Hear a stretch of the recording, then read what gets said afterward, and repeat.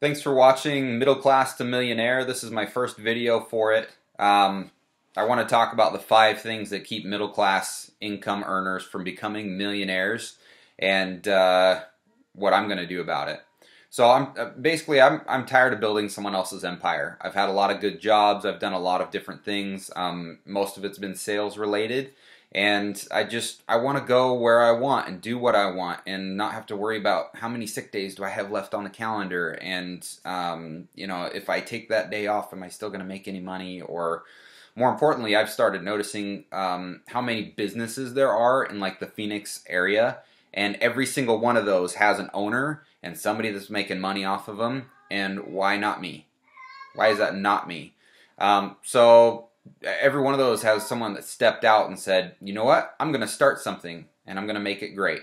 And they've got people working for them, making them money. So I just, I see it and I want a part of it.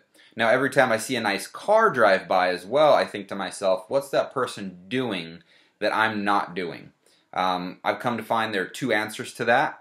Number one, they're living like they have money, but they really don't have any money. They're just leveraged out. Everything's on loans. They've got payments for everything, and they're just trying to live big, um, but they don't really have any true wealth. Or um, they own a business, a su successful business, and I want to be part of that group. So I've been doing some studying, and the five things that have kept me and a lot of other middle class people out of the millionaire bracket is that number one, we fear um, living on the streets or living with considerably less than we have. Um, that's one reason why these rags to riches stories, they're great. They're awesome to read because you feel great when you see someone succeed that's had it so, so bad. But I think that's why it's more common to see those than to see like a middle class person become a millionaire. Because, um, well, for one, it's not sensational, but for two, um, we, we get fearful about you know, what would life be like if this thing was a bust? And when you've lived on the bottom, when you've lived in the worst conditions, when you've had no home or lived in your car, you're not afraid of that stuff. You've had to beg for food, you know what it's like, you've done it. For those of us that live in a house and have a couple cars or whatever it is and, and a steady job, it's scary. And so we don't want to go down that road. So that fear puts in us. Um, the other, the second thing is, is um, we are complacent and secure with where we are. You know, we make enough money to live comfortably. Why would we want we want to disrupt that for the chance at making more? Um, and you know, just it, it's not a primary thought to us. The third thing is middle class people are not typically just doers. Um, you know, we have good ideas, or you know, but we don't think them through, or we overthink them. Um, but we don't just get out and start doing it. Um, and it, from what I've seen from a lot of the wealthy, they just do it. They have an idea and they're like, well, let's do it. Um, how much should we spend, or should we do this type of marketing or that type of marketing? Well, let's just throw some spaghetti at the wall and see what sticks. Like, let's just, we'll try that one, and if we suck at it, then it was a waste of money, we'll try that one. You know, but they're not afraid to waste the money and then try again with something else. It just, it doesn't matter. Money's not really an object to them, it's just like a method.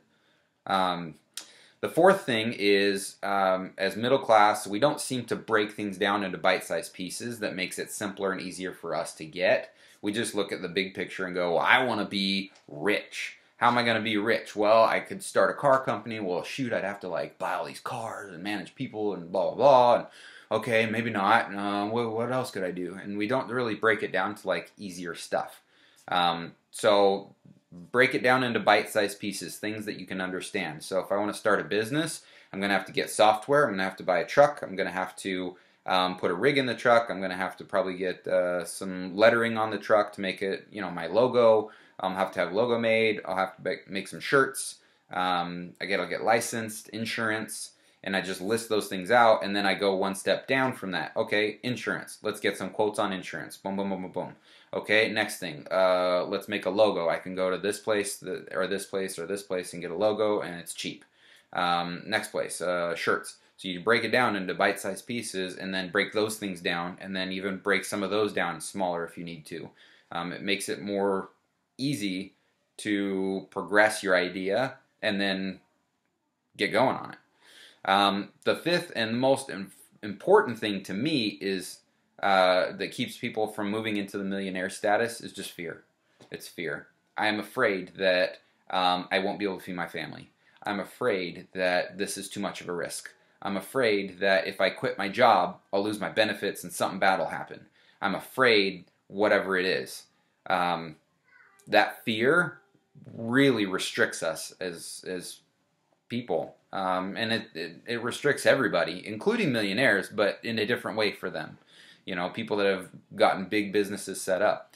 So, um, and then the sixth thing, well, actually, there was five things to become millionaire. The the sixth thing to me is um, I'm making this as a video series so that you guys can kind of learn from my mistakes and the things that either I'm afraid of, I've made mistakes doing, or even see some of my successes. So follow me as I break through these five stopping points to wealth and watch me succeed or fail, or fail, um, as I learn from my mistakes, and maybe you can learn from my mistakes too.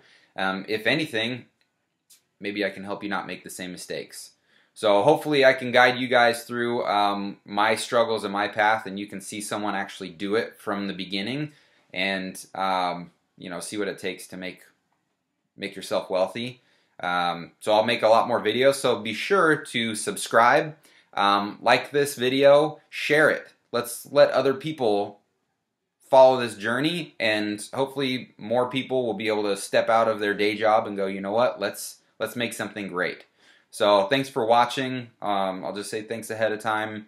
Um, hopefully this makes a difference for you.